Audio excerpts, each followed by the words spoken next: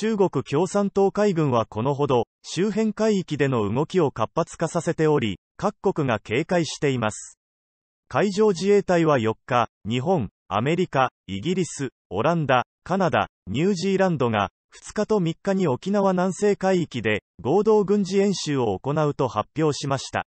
海上自衛隊は4日、2日と3日に日本、アメリカ、イギリス、オランダ、カナダ、ニュージーランドの6カ国の海軍が、自由で開かれたインド太平洋地域の実現に向けて、互いの作戦能力や海上での協力関係を強化するため、沖縄南西海域で合同軍事演習を行うと発表しました。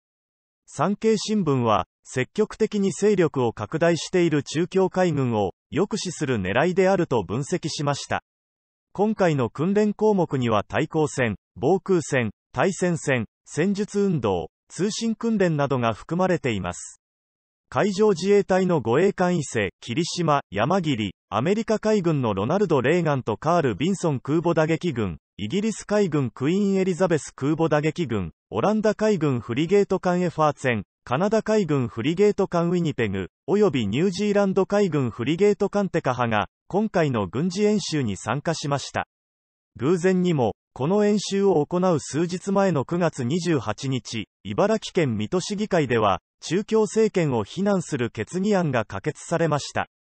同決議は、近年の各地方議会での中共非難決議とは異なり、人権の面で中共を非難するだけでなく、特に中共が最近、東アジア地域における軍事拡大が、すでに日本国家の安全を脅かしていることを、具体的に言及し、日本政府がアメリカをはじめとする、関連国と協力して、中共政権に強く抗議するだけではなく、それに応じた対抗措置を取ることを、要請しています。